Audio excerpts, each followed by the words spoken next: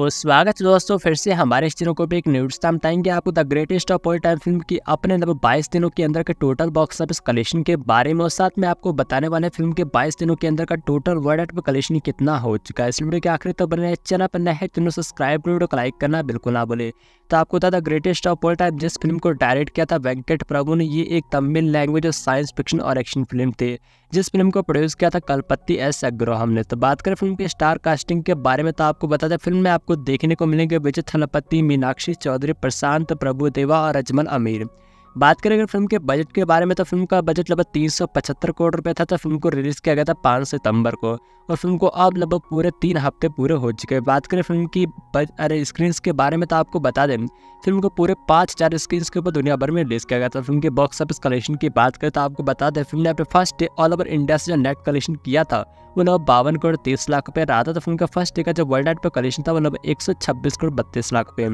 ने अपने चार दिनों के अंदर के वीकेंड से जो कलेक्शन किया था वो लगभग एक सौ तिरपन करोड़ चौबीस लाख रुपये रहा था तो फ़िल्म पहले हफ़्ते कलेक्शन किया था एक सौ अठहत्तर करोड़ उन्नीस लाख रुपये फ़िल्म ने अपने दूसरे हफ़्ते कमाई की थी तिरपन करोड़ संतानवे लाख रुपये तो फ़िल्म के अपने तीसरे हफ़्ते का कलेक्शन था अठारह करोड़ बहत्तर लाख रुपये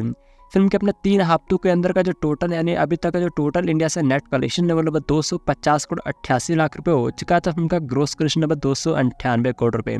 वही फ़िल्म ने ओवरसीज से अभी तक लगभग एक सौ अंठानवे करोड़ पैंसठ लाख रुपये कलेक्शन किया था। फ़िल्म के अपने जो बाईस दिनों के अंदर का वर्ल्ड वाइड पे जो कलेक्शन है, वो लगभग चार सौ संतावन करोड़ उन्नीस लाख पे हो चुका है। आपको बता दें फ़िल्म ने बाईस दिनों के अंदर साढ़े चार सौ का आंकड़ा भी पार कर लिया है। वही कल देवरा फ़िल्म रिलीज़ होने वाली है तो फ़िल्म की जो स्क्रीन है, उसको कम कर दिया जाएगा तो फिर देखते हैं फ़िल्म अपने बॉक्स ऑफ़िस पे कितना कलेक्शन कर पाती है। वही आपने the greatest of all time film को अभी तक देखा है कि नहीं, हमें कमेंट को बताया इस वीडियो को जानने के लिए हमारे चैनल को सब्सक्राइब करना बिल्कुल ना बोले धन्यवाद दोस्तों।